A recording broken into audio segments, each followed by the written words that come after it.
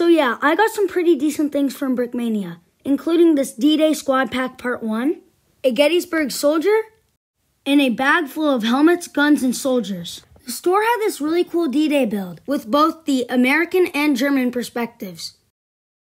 But all in all, I give this build a 10 out of 10. I mean, it's really well crafted.